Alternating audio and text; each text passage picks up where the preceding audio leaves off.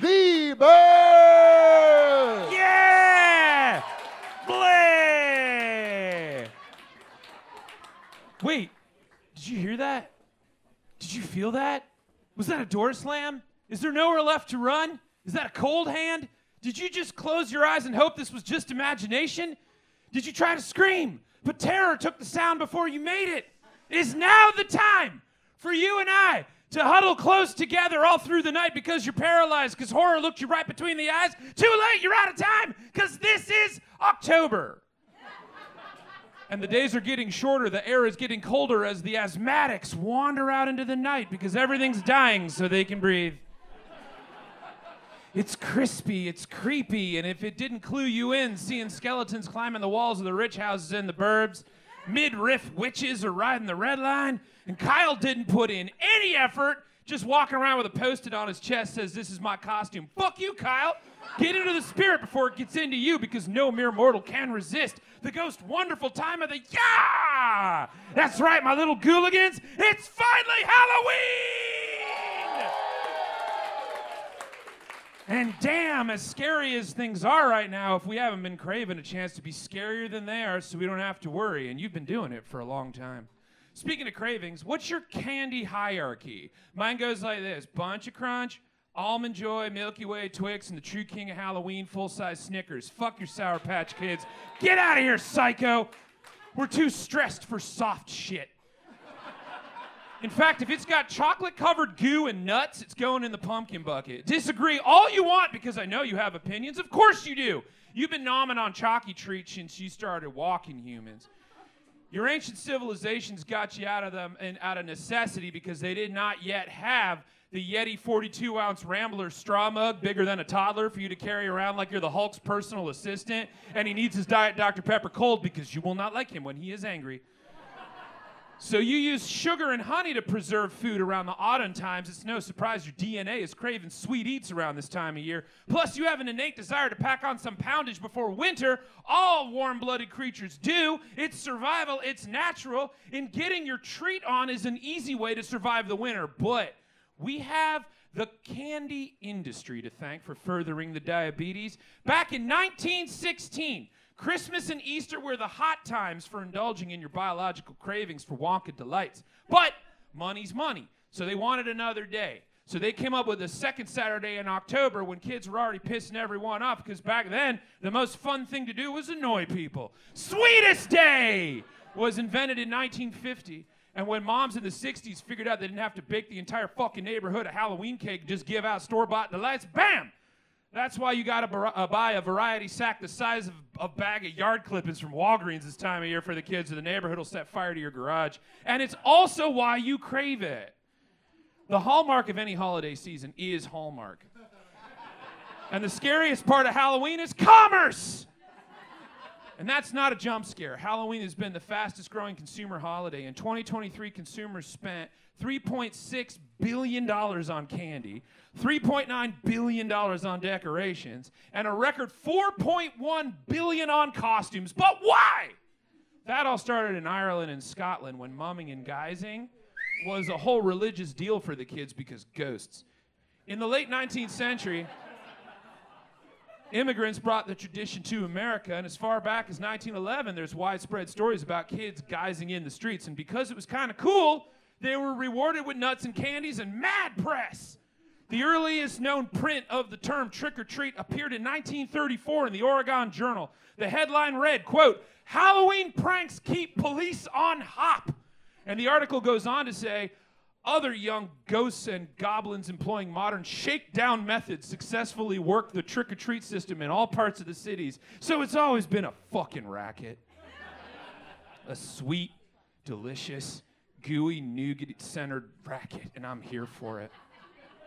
And so are you because you're projected to spend 11.6 billion on Halloween this year, 762.8 million of it on some hot, fat pumpkin action.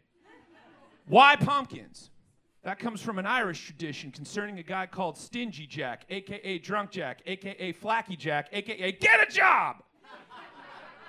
According to the legend, Stingy Jack was this drunk guy that was super good at tricking people. And then one day the devil, yeah, that the devil, heard about it and went looking to recruit. He found Jack walking home drunk and was like, Hey, can I have your soul? It's really pretty. And Jack was like, Oh, I knew today was to suck. But he was no fool, he was just a dick.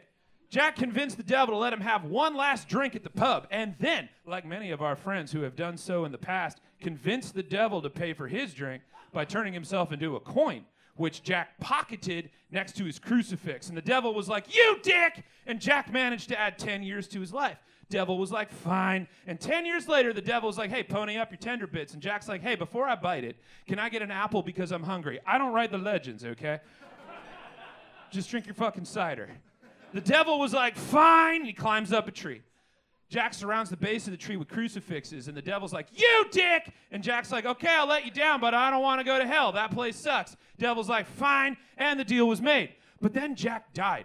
And when he gets to heaven, God's like, No way you're getting in here, bud. You're a dick. Jack goes to hell. And the devil's like, Uh, we made a deal, bruh. You said my club sucks. You think that's how you get in the VIP? You think Selena Gomez talks shit about Bootsy Bellows and expects to get past the rope? Entry denied. So, Jack can't get bottle service anywhere, and there's no Ubers in the afterlife. Just saying, it's like getting into Midway after 11 p.m. You're walking home, chump. Safe journey. So the devil gave him a hollowed out turnip to light his way because it's dark out there when you die. And that, kids, is why we drove all the way to Pine Grove to get pumpkins at 11 a.m. on a Sunday. I don't care if you're itchy because bugs. It's tradition. It's the spirit of the screamsin'. And everyone's getting in the spirit. Speaking of spirits, watch out behind you! I'm just kidding. We don't have money in the budget for a jump scare graphic out of nowhere. Who are we, CNN? Haunted houses didn't just pop up shocking the blitzer out of everyone. They've been doing that a long time. 19th century London, if you want to be a Dickopedia about it. 1802. Madame Tussauds Wax Museum scared the British out of people, which is hard to do because they just couldn't possibly. Because she was using death masks she agreed to make, oh, the victims of the guillotine during the French Revolution to avoid getting the guillotine herself. She would take the heads right out of the basket so you know they're fresh. That's quality. And she made these wax figures of them and put them on display in the public in her chamber of horrors. Then came the Grand Guignol Theater in Paris in the 20th century that would recreate famous murders. So, you podcast junkies, take note. You can thank the director, Max Maurey, next time you binge enough My Favorite Murder to make you nervous about your own bathroom. He famously judged performances by how many people passed out during the show. And then came the Great Depression in America when kids had nothing to do but piss off their neighbors. So, said neighbors got together because they had to do something about these kids pissing them off. Groups of families would decorate their basements and hold house to house parties where they would scare the shit out of these kids to keep them in line.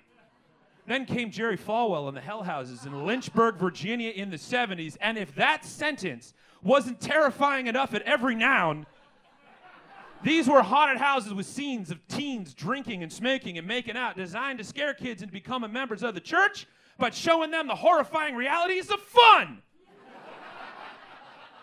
But the haunted house was not a societal jam until 1969. nice. When this guy, I don't know if you heard of him, Walt fucking Disney opened the Haunted Mansion in Disneyland. And thus, the haunted house you pay 60 bucks to get lunged at by gooey kids was born flipping the script started back in the Depression because really this whole time it was about keeping the youth from annoying you. It took them 30 years to figure out, hey, maybe pay them to annoy you and charge admission, capitalizing on the one resource that never depletes screaming teenagers. it's tradition. All in all, it's really all about huddling up close together because it's about to get cold and creepy out. 2,000 years ago was because the end of the harvest, right before the cold killed most of your friends. So no wonder you've been assuming the dead were coming back to look for their keys every October the 31st. The world is terrifying right now, but you can do better in the face of the true nightmares because it's the time when darkness falls across the land. The midnight hour is close at hand when creatures crawl in search of blood to terrorize y'all's neighborhood. So give it right back and don't be a baby. You can be scary too it's in your nature. Happy Halloween, creeps! One more time for Chad Bird. He's every week he can do that. Nailed it.